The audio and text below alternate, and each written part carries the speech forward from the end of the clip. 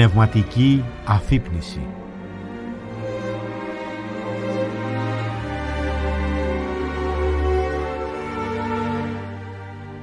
Γέροντος Παϊσίου Αγιορείτου. Διαβάζει η Ιωάννα Κορομπίλη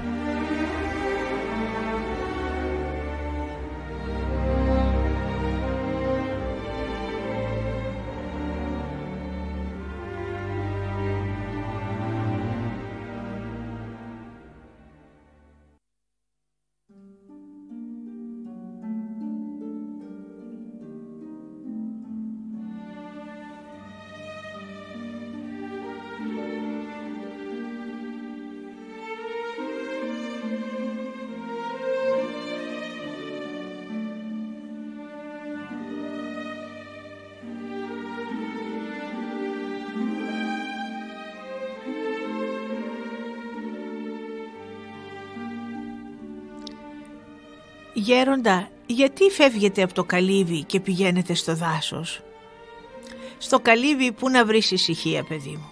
Ο ένας χτυπάει από εδώ, ο άλλος από εκεί. Βρήκα ένα καλό τόπο σε μια μεριά. Αν είμαι καλά θα χτίσω ένα πολυβολείο προσευχής, ένα ραντάρ. Είναι πολύ καλό μέρος. Για το καλοκαίρι είναι ό,τι πρέπει, έχει δέντρα. Θα μπορώ να στέκομαι και όρθιος. Αν μπορώ να κάνω τα καθήκοντά μου, αυτή είναι η χαρά μου, η τροφή μου. Ελάτε καμιά φορά. Γέροντα, πώς τα βλέπετε τα πράγματα; Εσείς πώς τα βλέπετε; Εμείς τι να πούμε γέροντα, εσείς να μας λέγατε. Η ανησυχία που έχω με ανησυχεί πολύ το ότι υπάρχει πολύ ησυχία κάτι ετοιμάζεται. Δεν έχουμε καταλάβει καλά σε τι χρόνια ζούμε. Ούτε σκεφτόμαστε ότι θα πεθάνουμε. Δεν ξέρω τι θα γίνει. Είναι πολύ δύσκολη η κατάσταση. Η τύχη του κόσμου κρέμεται από τα χέρια μερικών, αλλά ακόμη ο Θεός κρατά φρένο. Χρειάζεται να κάνουμε πολύ προσευχή με πόνο για να βάλει ο Θεός το χέρι του. Να το πάρουμε στα ζεστά και να ζήσουμε πνευματικά. Γιατί είναι πολύ δύσκολα τα χρόνια. Έχει πέσει πολύ στάχτη, σαβούρα, αδιαφορία. Θέλει πολύ φύσιμα για να φύγει. Οι παλιοί έλεγαν ότι θα έρθει η ώρα που θα κλωτσίσουν οι άνθρωποι. Πετάνε τους φράχτες, δεν υπολογίζουν τίποτα, είναι φοβερό. Έγινε μια Βαβυλωνία. Να κάνουμε προσευχή, να βγουν οι άνθρωποι από αυτή τη Βαβυλωνία.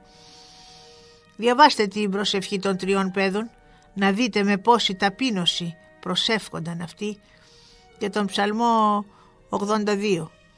Ο Θεός τι ομοιωθεί σε τέση, μη συγγύσεις. Αυτό πρέπει να γίνει. Αλλιώς δεν γίνεται χωριό, θέλει θεϊκή επέμβαση.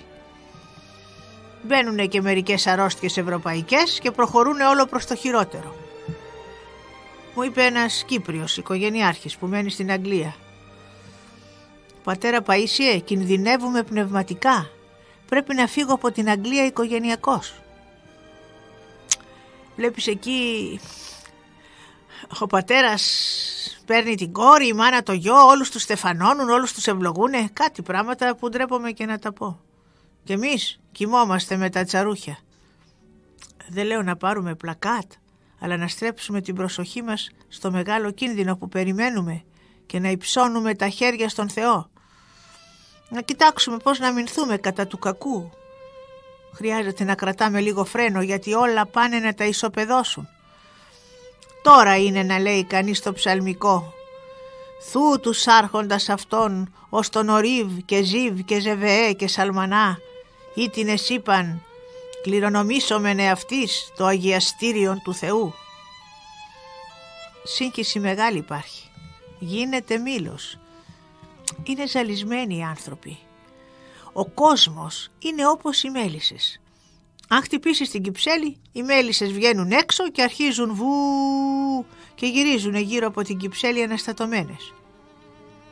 Ύστερα η κατεύθυνσή τους θα εξαρτηθεί από τον άνεμο που θα φυσήξει. Αν φυσήξει βοριάς θα πάνε μέσα. Αν φυσήξει νοτιάς θα φύγουν.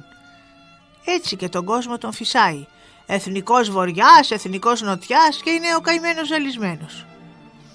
Όμως αν και γίνεται τέτοιο βράσιμο, νιώθω μέσα μου μια παρηγοριά, μια σιγουριά. Μπορεί να ξεράθηκε η ελιά, αλλά θα πετάξει νέα βλαστάρια. Υπάρχει μια μερίδα χριστιανών στους οποίους αναπαύεται ο Θεός. Υπάρχουν ακόμη οι άνθρωποι του Θεού, οι άνθρωποι της προσευχής και ο καλός Θεός μας ανέχεται και πάλι θα οικονομήσει τα πράγματα. Αυτοί οι άνθρωποι της προσευχής μας δίνουν ελπίδα. Μη φοβάστε. Σαν έθνος περάσαμε τόσες μπόρες και δεν χαθήκαμε. Και θα φοβηθούμε τη θύελα που πάει να ξεσπάσει. Ούτε τώρα θα χαθούμε. Ο Θεός μας αγαπάει. Ο άνθρωπος έχει μέσα του κρυμμένη δύναμη για ώρα ανάγκης. Θα είναι λίγα τα δύσκολα χρόνια. Μια μπόρα θα είναι. Δεν σας τα λέω αυτά για να φοβηθείτε, αλλά για να ξέρετε πού βρισκόμαστε. Για μας είναι μια μεγάλη ευκαιρία, είναι πανηγύρι δυσκολίες, το μαρτύριο. Να είστε με τον Χριστό μας, να ζείτε σύμφωνα με τις εντολές Του και να προσεύχεστε για να έχετε θεία δυνάμεις και να μπορέσετε να αντιμετωπίσετε τις δυσκολίες. Να αφήσετε τα πάθη για να έρθει η Θεία Χάρις. Αυτό που θα βοηθήσει πολύ είναι να μπει μέσα μας η καλή ανησυχία. Πού βρισκόμαστε, τι θα συναντήσουμε για να λάβουμε τα μέτρα μας, να ετοιμαστούμε. Η ζωή μας να είναι πιο μετρημένη, να ζούμε πιο πνευματικά, να είμαστε πιο αγαπημένοι, να βοηθούμε τους πονεμένους, τους φτωχούς με αγάπη, με πόνο, με καλοσύνη. Να προσευχόμαστε, να βγουν καλοί άνθρωποι. Ο καλός Θεός όλα θα τα οικονομήσει με τον καλύτερο τρόπο, αλλά χρειάζεται πολύ υπομονή και προσοχή, γιατί πολλές φορές με το να βιάζονται οι άνθρωποι να ξεμπλέξουν τα κουβάρια, τα μπλέκουν περισσότερο. Όμως ο Θεός με υπομονή τα ξεμπλέκει. Δεν θα πάει πολύ αυτή η κατάσταση. θα πάρει σκούπα ο Θεός. Το έτος 1860 επειδή υπήρχε στο Άγιο Όρος πολύς τουρκικός στρατός για ένα διάστημα δεν είχε μείνει στη Μονή Ιβύρων κανένας μοναχός. Οι πατέρες είχαν φύγει άλλοι με τα Άγια Λείψανα, άλλοι για να βοηθήσουν στην Επανάσταση. Ερχόταν στο μοναστήρι μόνο ένας μοναχός από μακριά. Α, άναβε τα καντήλια, σκούπιζε. Μέσα και έξω από το μοναστήρι ήταν τουρκικός στρατός. Και αυτός ο καημένος σκούπιζε και έλεγε «Παναγία μου, τι θα γίνει με αυτή την κατάσταση». Έτσι μια φορά που προσευχόταν, με πόνο στην Παναγία, βλέπει να τον πλησιάζει μια γυναίκα. Ήταν η ίδια η Παναγία. Έλαμπε το πρόσωπό της, ακτινοβολούσε.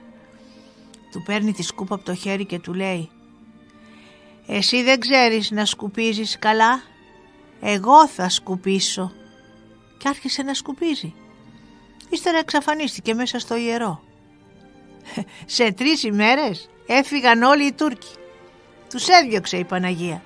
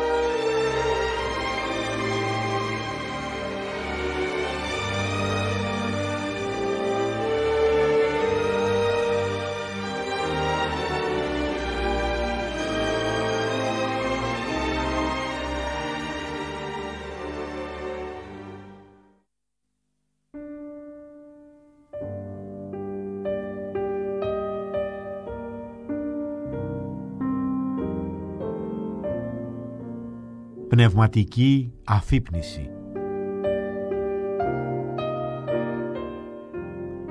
Γέροντος Παϊσίου Αγιορείτου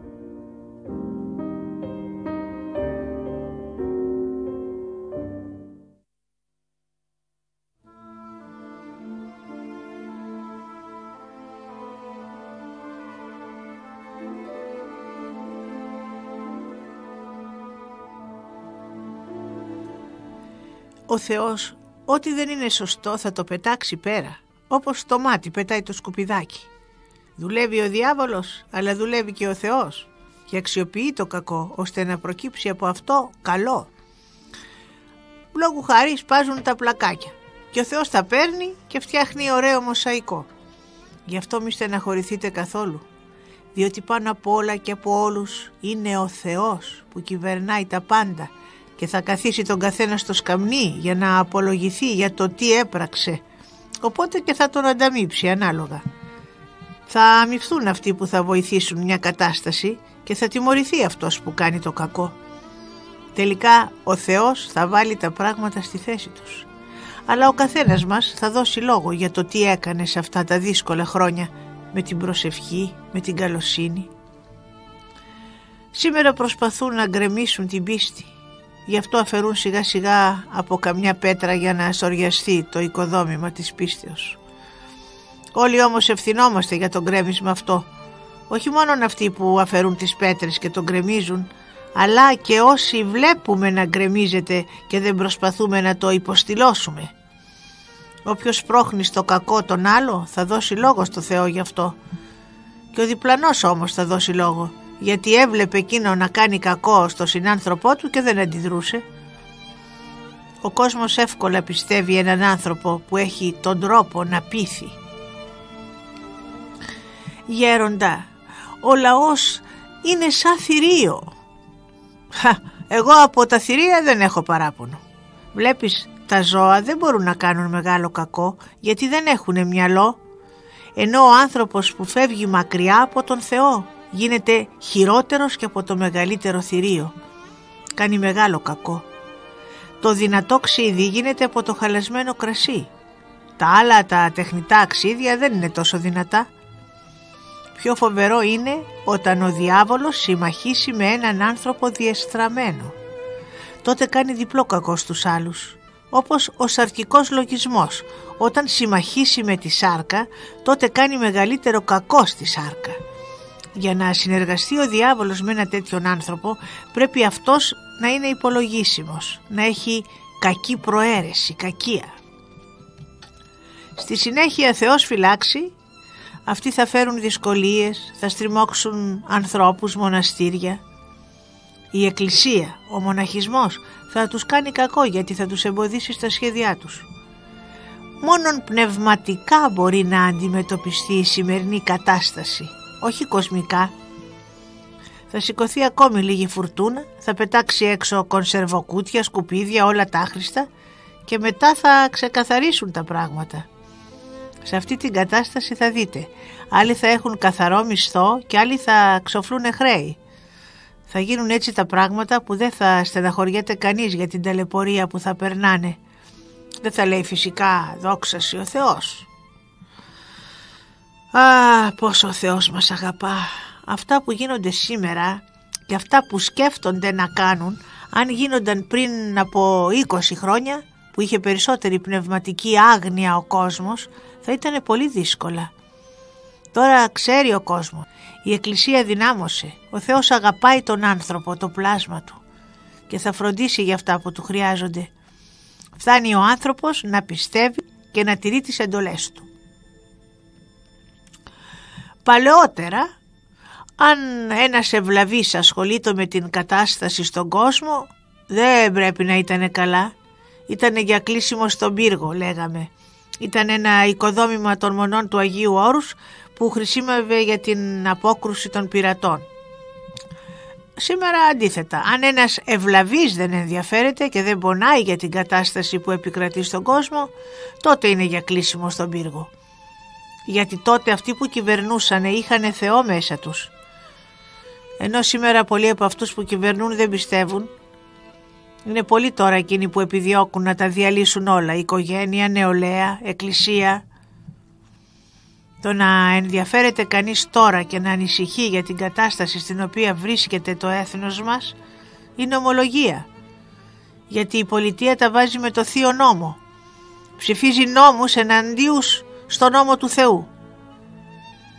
Είναι και μερικοί αδιάφοροι που ούτε στο θεσμό της Εκκλησίας πιστεύουν, ούτε έθνος παραδέχονται και για να έχουν το χουζούρι τους λένε ο Απόστολος Παύλος λέει να μην ενδιαφέρεσαι για τα πράγματα του κόσμου και αδιαφορούν. Αλλά ο Απόστολος Παύλος άλλο εννοούσε. Τότε τα ειδωλολατρικά έθνη είχαν εξουσία. Μερικοί ξέκοψαν από το κράτος και πίστεψαν στον Ιησού Χριστό. Έλεγε λοιπόν ο Απόστολος Παύλος σε αυτούς «Εσείς μην ασχολείστε με τα πράγματα του κόσμου για να ξεχωρίζουν από τον κόσμο γιατί όλος ο κόσμος ήταν ειδωλολατρικός. Από τη στιγμή όμως που ανέλαβε την εξουσία ο Μέγας Κωνσταντίνος και επικράτησε ο χριστιανισμός δημιουργήθηκε σιγά σιγά η μεγάλη χριστιανική παράδοση με τις εκκλησίες, τα μοναστήρια, την τέχνη, το τυπικό της λατρείας και όλα τα άλλα. Έχουμε λοιπόν ευθύνη να τα διατηρήσουμε όλα αυτά και να μην αφήσουμε τους εχθρούς της εκκλησίας να τα διαλύσουν. Έχω ακούσει και πνευματικούς να λένε εσείς μην ασχολείστε με αυτά. Αν είχαν μεγάλη όμως αγιότητα και έφταναν με την προσευχή σε τέτοια κατάσταση που να μην τους ενδιαφέρει τίποτα, να τους φιλούσα και τα πόδια. Αλλά τώρα διαφορούν γιατί θέλουν να τα έχουν καλά με όλους και να καλοπερνάνε. Η αδιαφορία δεν επιτρέπεται ούτε στους κοσμικούς και πόσο μάλλον στους πνευματικούς ανθρώπους. Ένας άνθρωπος τίμιος, πνευματικός, δεν πρέπει να κάνει τίποτε με αδιαφορία. Λέει ο προφήτης Ιερεμίας «Επικατάρατος ποιόν τα έργα Κυρίου αμελός». Παλιά στους δέκα οι έξι ήταν θεοφοβούμενοι. Οι δύο μέτριοι και οι δύο αδιάφοροι. Αλλά και αυτοί είχαν μέσα τους πίστη. Σήμερα δεν είναι έτσι. Δεν ξέρω που θα πάει αυτή η κατάσταση. Να προσπαθήσουμε τώρα όσο μπορούμε να βοηθήσουμε πνευματικά τους ανθρώπους. Όπως έγινε τότε με τον κατακλυσμό, με την κυβωτό του Νόε. Έτσι και τώρα. Να γλιτώσουν μερικοί, να μην σακατευτούν πνευματικά. Θέλει πολύ προσοχή, πολύ διάκριση. Να δει κανείς τα πράγματα από πολλές πλευρές και να αναπαύσει τους ανθρώπους. Μήπως εμένα με αναπαύει να μαζεύονται οι άνθρωποι ή ήθελα να βλέπω τόσο κόσμο; Όχι.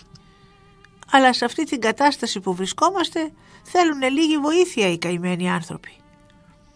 Εγώ δεν έγινα παπάς για να μην έχω να κάνω με κόσμο και τελικά περισσότερο ασχολούμαι με τον κόσμο. Αλλά ο Θεός ξέρει τη διάθεσή μου και μου δίνει περισσότερα από όσα θα μου έδινε αν έκανα αυτό που με ανέπαβε.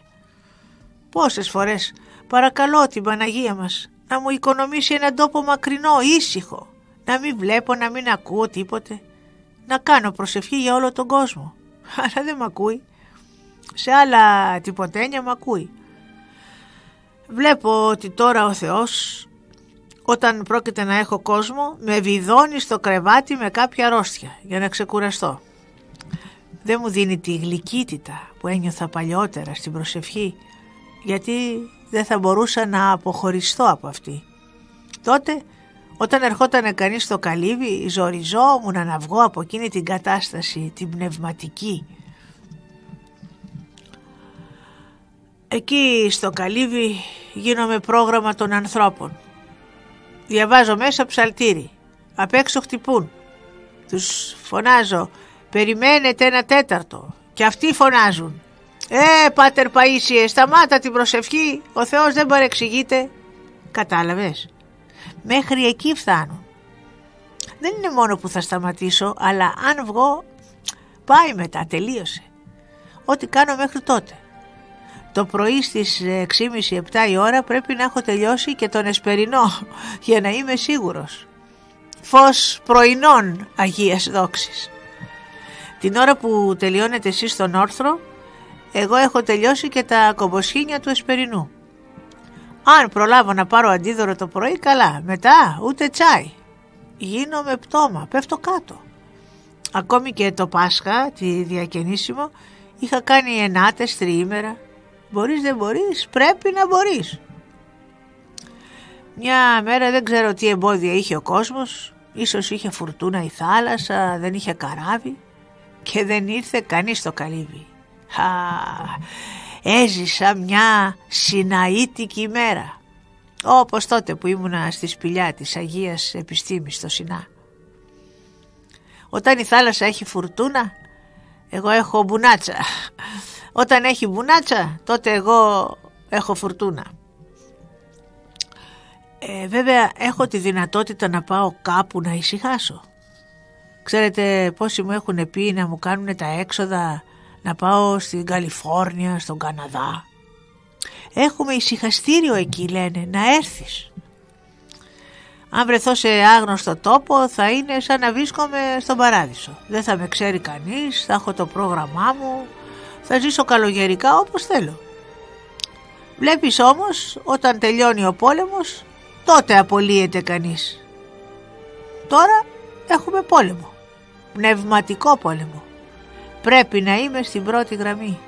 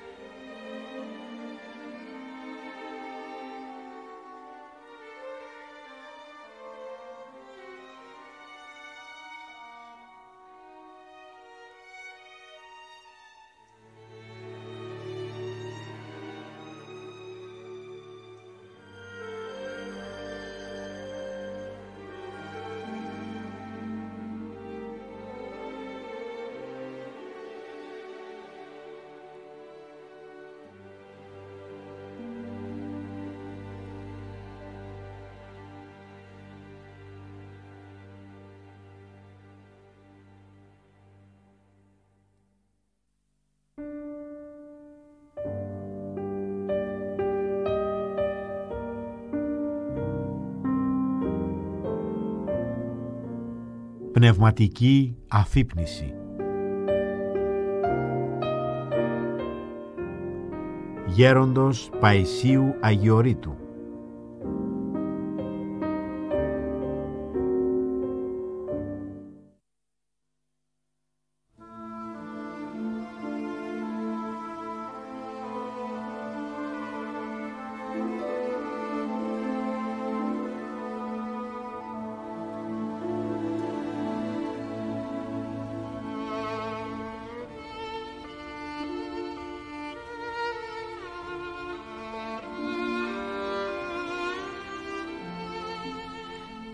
Να ξέρετε πόσο στριμώχνομαι και από πόσες μεριές.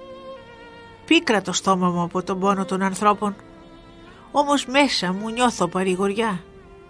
Αν φύγω, το θεωρώ σαν να φεύγω από την πρώτη γραμμή, σαν να οπισθοχωρώ. Το θεωρώ προδοσία. Έτσι το νιώθω. Μήπως ξεκίνησα για τέτοια πράγματα ή ξεκίνησα για να βοηθάω μοναστήρια; Για αλλού ξεκίνησα και αλλού βρέθηκα και τώρα πώς παλεύω; Και βλέπεις ο άλλος δεν μιλάει.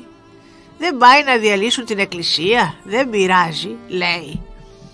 Πηγαίνει και με τον ένα και με τον άλλο αρκεί να βολευτεί. Τι να βολευτεί, αυτόν τον βολεύει ο διάβολος τελικά. Αυτά είναι άτιμα πράγματα. Αν ήθελα εγώ να κάνω αυτό που με ευχαριστεί, ε, ξέρετε πόσο εύκολο ήτανε. Σκοπός όμως είναι να κάνω όχι αυτό που βολεύει εμένα, αλλά αυτό που βολεύει τον άλλο. Αν σκεφτόμουν πώς να βολευτώ εγώ, έχω τη δυνατότητα να βολευτώ σε πολλές μεριές. Όμως, για να περάσεις στη Βουλή του Θεού, πρέπει να γίνεις βουλευτής του Θεού, όχι βολευτής του εαυτού σου. Τι είναι αυτό που ακούγεται; Αεροπλάνο γέροντα. Α, κλείσε το παράθυρο μην μπει μέσα. Έτσι που παλάβεις ο κόσμος και αυτό σιγά σιγά μπορεί να γίνει. Έχουν διαλυθεί όλα. Οικογένεια, παιδεία, υπηρεσίες. Δεν τους καίγεται καρφί. Τίποτε δεν έχουν μέσα τους. Ποιος φταίει γέροντα που φτάσαμε σε αυτή την κατάσταση; Μιλάω γενικά. Θέλω να πω μέχρι που έχει φτάσει η αδιαφορία. Πήγαινε σε μια σχολή και θα δεις. Αν χτυπούν τα παράθυρα από τον αέρα. Είναι ζήτημα αν βρεθεί ένα παιδί να τα κλείσει για να μην σπάσουν. Άλλα παιδιά χαζεύουν, άλλα κοιτάζουν τα παράθυρα πώς χτυπούν. Άλλα περνάνε από εκεί σαν να μην συμβαίνει τίποτα. Αδιαφορία. Μου έλεγε ένας αξιωματικός που ήταν υπεύθυνος στις αποθήκες του στρατού. Γέροντα, τρομάζω να βρω ένα στρατιώτη σωστό, να τον βάλω φρουρό στην αποθήκη πετρελαίων, για να μην βάλουν οι άλλοι καμιά φωτιά ή ο ίδιος μην πετάξει κανένα τσιγάρο απρόσεκτα. Υπάρχει ένα πνεύμα χλιαρό, καθόλου ανδρισμός. Χαλάσαμε τελείως. Πώς μας ανέχεται ο Θεός. Παλιά τι αξιοπρέπεια υπήρχε, τι φιλότιμο.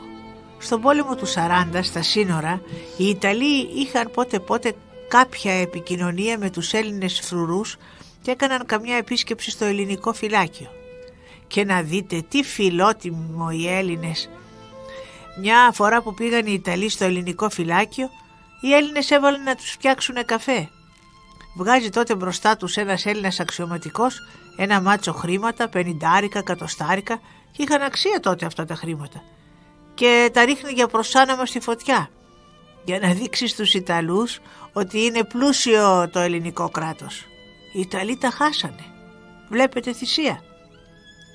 Σήμερα μπήκε και σε εμάς το πνεύμα που συναντάει κανείς στα κομμουνιστικά κράτη. Στη Ρωσία, παρόλο που φέτος είχαν εσοδιά, ξέρετε τι πείνα θα έχουνε; Δεν θερήσαν το στάρι, στον καιρό του πήγανε το φθινόπωρο να θερήσουνε. Θερίζουνε το φθινόπωρο. Αν δεν είναι δικό τους πώς να το πονέσουν και να πάνε να το θερήσουν; Η ζωή τους εκεί είναι αγκαρία. Δεν έχουν το ζήλο να δημιουργήσουν κάτι γιατί τόσα χρόνια δεν δημιουργούσανε. Με αυτό το τεμπέλικο πνεύμα που μπήκε με αυτή την αδιαφορία βούλιαξε όλο το κράτος. Βρέχει και είναι πλωμένο το σιτάρι. Δεν τους νοιάζει. Ήρθε η ώρα να φύγουν, φεύγουν. Το παίρνει το στάρι βροχή. Την άλλη μέρα θα πάνε στην ώρα τους να μαζέψουν όσο έμεινε. Όμως όταν είναι δικό σου το σιτάρι και το έχεις απλωμένο στα λόνι, αν βρέξει το αφήνεις να χαθεί, δεν θα κοιμηθείς για να το σώσεις. Και νιώθεις χαρά, αγαλίαση, έστω από την κούραση. Η αδιαφορία για τον Θεό φέρνει την αδιαφορία και για όλα τα άλλα. Φέρνει την αποσύνθεση. Η πίστη στον Θεό είναι μεγάλη υπόθεση. Λατρεύει ο άνθρωπος τον Θεό και ύστερα αγαπάει και τους γονείς του, το σπίτι του, τους συγγενείς του, τη δουλειά του, το χωριό του, το νόμο, το κράτος, την πατρίδα. Ένας που δεν αγαπάει τον Θεό, την οικογένειά του, δεν αγαπάει τίποτα. Και φυσικά δεν αγαπάει ούτε την πατρίδα του, γιατί και η πατρίδα είναι μια μεγάλη οικογένεια. Θέλω να πω, όλα από εκεί ξεκινάνε. Δεν πιστεύει ο άνθρωπος στον Θεό και μετά ούτε γονείς, ούτε οικογένεια, ούτε χωριό, ούτε πατρίδα. Τίποτα δεν υπολογίζει. Και αυτά είναι που πάνε τώρα να διαλύσουν. Γι' αυτό δημιουργούν μια κατάσταση ρεμπελιό. Μου έγραφε ένας αστυνομικός. Δεν μπόρεσα γέροντα να έρθω γιατί μου έπεσε πολλή δουλειά. Μείναμε δύο στην περιοχή ενώ έπρεπε να είμαστε οκτώ. Ακούς πράγματα. Αντί τώρα να προσθέσουν άλλους δύο αφήνουν μόνο δύο. Ε, ευτυχώς υπάρχουν και εξαιρέσεις. Μια άλλη φορά ήρθε ένας πατέρας και μου λέει «Πατέρα Παΐσι, κάνε σε παρακαλώ προσευχή για τον άγγελο γιατί θα τον σκοτώσουν». Τον ήξερα το γιο του από μικρό παιδί. Τότε υπηρετούσε τη θητεία του στο στρατό. «Γιατί» του λέω, «τι συμβαίνει». Να, πήγε μια φορά, μου λέει ο πατέρας και βρήκε τους άλλους να παίζουν χαρτιά ενώ είχαν υπηρεσία. Τους έκανε παρατήρηση, δεν τον άκουσε. Τους έκανε μετά αναφορά και ένας από εκείνους τον απείλησε ότι θα τον σκοτώσει. Κοίταξε, του λέω, για να τον σκοτώσουν δεν τον σκοτώνουν. Εγώ θα κάνω προσευχή για να μην περάσουν τον άγγελο στρατοδικείο που δεν έπαιζε και αυτός χαρτιά. Ε, έμαθα και κάτι άλλο και είπα Δόξα τω Θεώ, υπάρχουν ακόμη Έλληνες που πονάνε για την πατρίδα. Ένας αεροπόρος, επειδή είχαν παραβιάσει τα σύνορα τουρκικά αεροπλάνα, έκανε προσπάθεια να τα προσπεράσει λίγο για να βγάλει φωτογραφία και να αποδείξει ότι παραβίασαν τα σύνορα. «Παράτησέ το», του φώναζε ο άλλος από τον ασύρματο, αλλά εκείνος επέμενε και προσπαθούσε. Ο Τούρκος εντωμεταξύ είχε μεγαλύτερο αεροπλάνο και έτρεχε πιο πολύ και το πήγαινε πιο χαμηλά μέχρι που ο Έλληνας ο καημένος βούλιαξε στη θάλασσα. Υπάρχουν άλλοι όμως που μόνο βόλτες κάνουν με το αεροπλάνο. Είδες πόσο διαφέρει δηλαδή. Χρειάζεται να μπει κανείς στο νόημα, να αισθανθεί το καλό ως ανάγκη, αλλιώς είναι ένα ρέμπελο πράγμα. Άντε τώρα να βάλεις κάποιον αγκαρία να πάει να πολεμήσει. Θα κοιτάει να φύγει από εδώ και από εκεί να γλιτώσει. Όταν καταλάβει όμως τι κακό θα κάνει ο εχθρός στην πατρίδα, πάει εθελοντής. Παλιά στην πατρίδα μου στα Φάρασα έλεγαν «Αν έχεις καμιά δουλειά μην την αφήνεις για αύριο. Αν έχεις καλό φαγητό άστο για αύριο. Μήπως έρθει κανένας μουσαφίρης». Τώρα ξέρετε πως σκέφτονται να αφήσουμε τη δουλειά μήπως έρθει κανείς αύριο και μας βοηθήσει. Ε, το καλό φαγητό ας το φάμε εμείς απόψε. Σήμερα οι περισσότεροι άνθρωποι γυρίζουν γύρω από τον εαυτό τους. Μόνο τον εαυτό τους σκέφτονται. Ας υποθέσουμε ότι βρέχει, γίνεται κατακλυσμός. Θα δείτε οι περισσότερες από εσάς τις γυναίκες θα σκεφτούν μήπως έχουν ρούχα πλωμένα και πάνε να τα μαζέψουν. Κακό δεν είναι αυτό, αλλά δεν θα πάνε πιο πέρα. Τα ρούχα και να βραχούνε θα στεγνώσουν. Αυτοί όμως που αλωνίζουν τι θα γίνουν; Πονάτε για αυτούς, να κάνετε καμιά προσευχή; Ή ας πούμε πέφτουν κεραυνοί; Ζήτημα 5-6 ψυχές να θυμηθούν τους καημένους τους γεωργούς ή αυτούς που έχουν θερμοκήπια; Δεν σκέφτεται δηλαδή τον άλλο ο άνθρωπος. Δεν βγαίνει από τον εαυτό του αλλά γυρίζει συνέχεια γύρω από τον εαυτό του. Όταν όμως γυρίζει γύρω από τον εαυτό του, κέντρο έχει τον εαυτό του. Δεν έχει τον Χριστό. Είναι έξω από τον άξονα που είναι ο Ιησούς Χριστός. Για να φτάσει να σκέφτεται τον άλλο, πρέπει ο νους του πρώτα να είναι στον Χριστό. Τότε σκέφτεται και τον πλησίον. Και μετά σκέφτεται και τα ζώα και όλη τη φύση, τη δημιουργία έχει το σταθμό του ανοιχτό και μόλις πάρει το μήνυμα τρέχει να βοηθήσει. Αν ο νους του δεν είναι στον Χριστό, δεν δουλεύει η καρδιά του, γι' αυτό δεν αγαπάει ούτε τον Χριστό ούτε τον συνάνθρωπο, πόσο μάλλον τη φύση, τα ζώα, τα δέντρα, τα φυτά. Έτσι όπως κινείστε, πού να φτάσετε στο σημείο να έχετε επικοινωνία με τα ζώα, με τα πουλιά. Αν πέσει κανένα πουλί από τη σκεπή, θα το ταΐσετε. Αν δεν πέσει από τη σκεπή, δεν σκέφτεστε να το ταΐσετε. Εγώ βλέπω τα πουλιά και λέω θέλουν τάισμα τα καημένα. Ρίχνω λίγα ψυχουλάκια. Βάζω και νεράκι να πιούνε. Βλέπω άρρωστα κλαδιά στα δέντρα. Αμέσως σκέφτομαι να τα κόψω μην κολλήσουν και τα άλλα. Ή χτυπάει μια πόρτα, ένα παράθυρο. Πάει εκεί ο νους μου. Θα ξεχάσω τον εαυτό μου αν μου χρειάζεται κάτι αλλά θα κοιτάξω την πόρτα, το παράθυρο να μην σπάσει, να μην γίνει καμιά ζημιά. Παρεπιπτόντως σκέφτομαι και για μένα. Και αν κανείς σκέφτεται και πονάει για τα δημιουργήματα, πόσο μάλλον θα σκέφτεται το δημιουργό τους. Αν δεν κινείται έτσι ο άνθρωπος, πώς να συντονιστεί με τον Θεό. Έπειτα, και όταν βγαίνετε έξω, ρίξτε καμιά ματιά γύρω, Μπορεί κάποιος έστω και από προσεξία ή από κακότητα. Εύχομαι κανείς να μην κάνει κακό. Κάτι να πετάξει να βάλει φωτιά. Γι' αυτό ρίξτε μια ματιά. Και αυτό στα πνευματικά ανήκει. Γιατί και αυτό το βλέμμα έχει αγάπη. Εγώ βγαίνω έξω από το καλύβι, ρίχνω μια ματιά προς τα κάτω, μια ματιά προς τη σκεπή, να δω μήπως μυρίζει καμένο. Άλλο αν έχεις τέτοια πίστη, πως αν πιάσει φωτιά και κάνεις προσευχή θα σβήσει φωτιά. Ε, διαφορετικά πρέπει να ενεργήσεις. Ή όταν ακούω κρότο. Προσέχω να δω τι είναι. Πυροβόλο, άσκηση κάνουν, φουρνέλο.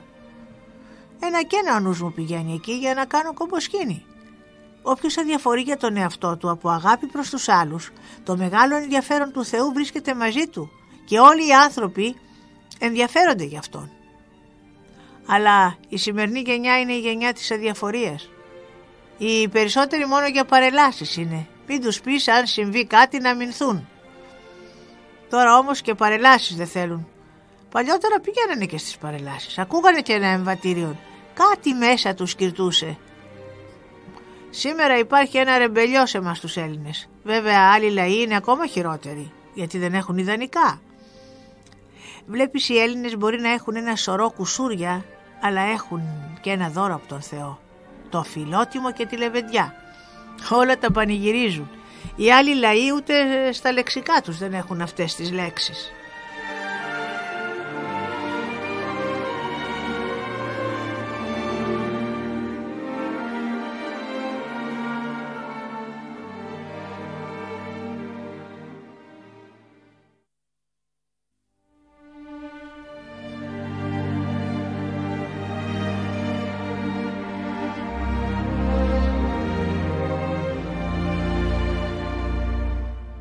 Ακούσατε την εκπομπή Πνευματική Αφύπνιση.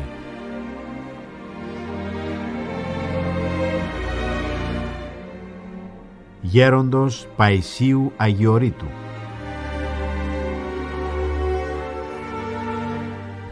Διάβασε η Ιωάννα Κορομπίλη